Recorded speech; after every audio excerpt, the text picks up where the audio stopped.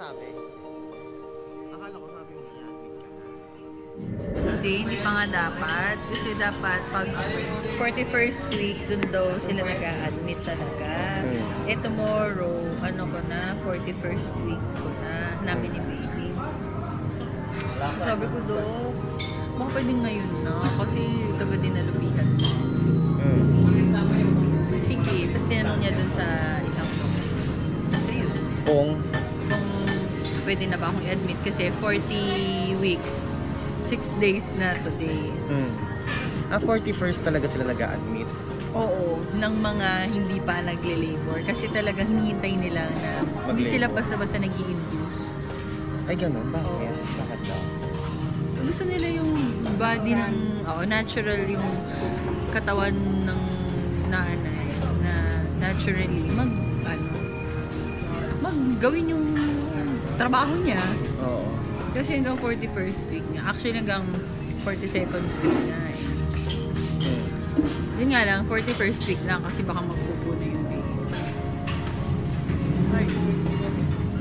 Tapos sabi kong ganun kasi Dok, yung dalawa kong baby, puro inindus kasi yun. eh. Yung si yung si Amiro, ah due date mismo siya lumabas. Cm pa lang siya. Tapos sabi niya ganyan, baka inaugment. Tapos di ko naintindihan ko ano yun. inaugment. Baka yung tinulungan. Baka Tinulungan. nga po.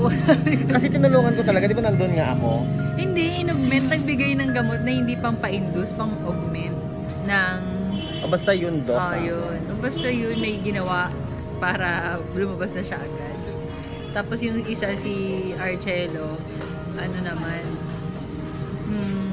22, January 22 yung due date niya. Hmm. Kinabukasan pa siya lumabas. Kasi kinabukasan pa, nag-dilate yung cervix ko. Nag 2 cm. After ng 2 cm, ano na agad. Tapos sabi ni Doc na ganyan. Hmm. Ah, kasi sabi niya ganyan, we, we usually follow the sabi niya. Yung protocol talaga, hindi sila nag-shortcut. So yung dating mo mga OB. Hindi naman, kasi ubin, ano naman sila eh. Si Kumbaga, eto, Choice naman na Sila naman. ito, by the book. Ito yung... Kasi ano, mga tingin ko mga bago pa lang sila. Tapos yung mga dati nating OB, mga experience na. Oo, mga datihan. Kumbaga may K na silang mag-decide. Yung on mataba their yun, own. yung matabang babae. May K na silang mag-decide on their own. Kasi nga, bihasa na sila sa Oo. profession. Etong mga to, parang ano, By the book. nag-train, train. So mamaya pag admit sa'yo, pwede kami umuwi ni nanay. Kukuha siya ng kumot niya. Hmm? Hindi, kung bu- wag na uwi si nanay kasi papuntahin ko na lang. Alam ko yung ni Gigi. Yan. Nisip ko nga ako si Ate Gigi o sila nanay yung papapunta. Eh di ba hindi Kasama naman ni sila... nanay. Si Gigi na lang. Tapos sila nanay na lang sa bahay. Para magulo sa bahay. Kasi kung si Gigi si tatay mo na maiwan. Pag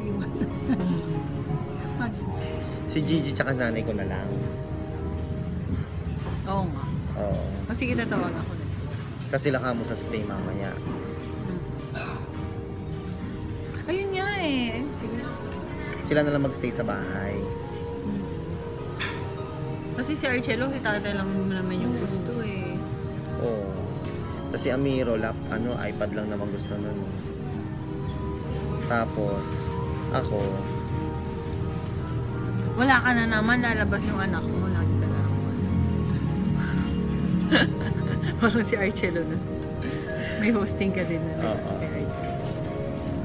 kung Okay lang. Sino kaya ang Andyan naman si tatay ko sino kayang pwede? Ano sino pwede? Si Gigi nga. Kasi,